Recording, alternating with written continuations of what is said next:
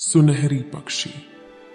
एक बार एक जंगल में एक विशाल पेड़ पर एक सोने की चिड़िया रहती थी।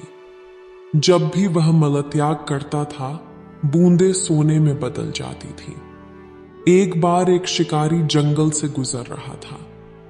दिन भर भटकने के बाद भी उन्हें कोई सफलता नहीं मिली। तो वह बहुत थक गया था। इसलिए वह एक पेड़ की छाया के नीचे बैठ गया और अपनी आँखें बंद कर ली।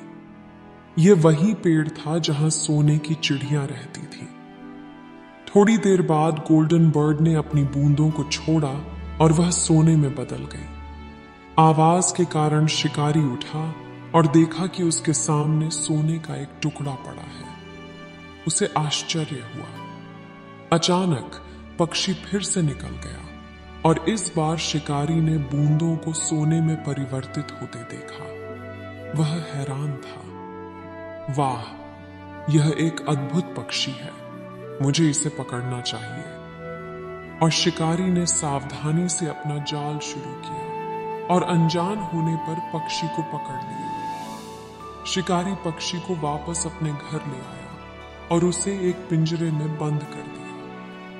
लेकिन एक विचार उन्हें हर समय परेशान कर रहा था। अगर कोई देखता है कि मेरे पास एक पक्षी है जो सोना उत्सर्जित करता है तो मैं मुश्किल में पड़ जाऊँगा।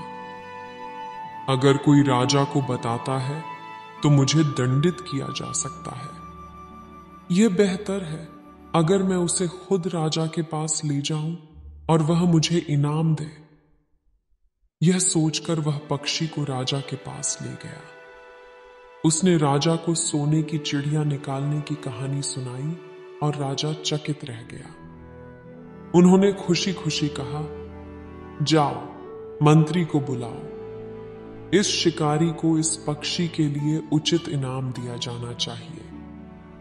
मंत्री थोड़ी देर बाद आते हैं, लेकिन पक्षी को देखकर वे अपने दिमाग का उपयोग करते हैं और कहते हैं महाराज, यह कैसे संभव है कि एक चिड़िया सोना निकाल सकती है?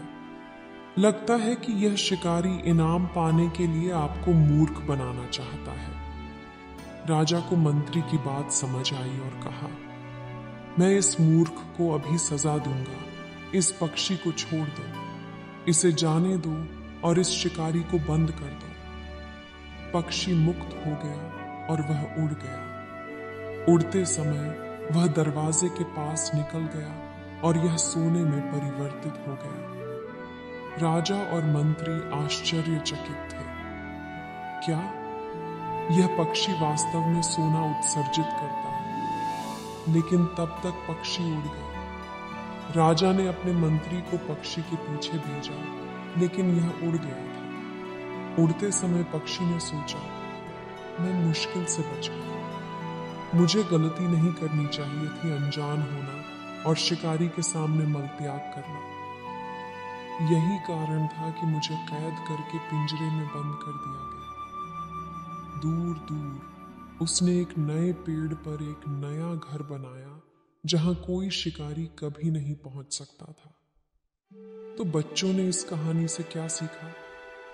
हमने सीखा कि हमें हमेशा सावधान रहना चाहिए। समझ गया?